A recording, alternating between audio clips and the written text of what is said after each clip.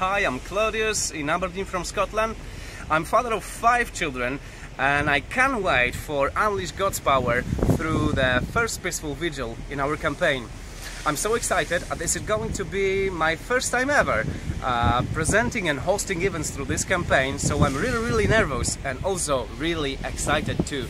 I believe uh, this campaign brings awakening to the men who have been called to be the fathers. I feel God desires to every father courageously step up and to do everything to be involved in the lives of his children and also to be visual representation of character of God the Father.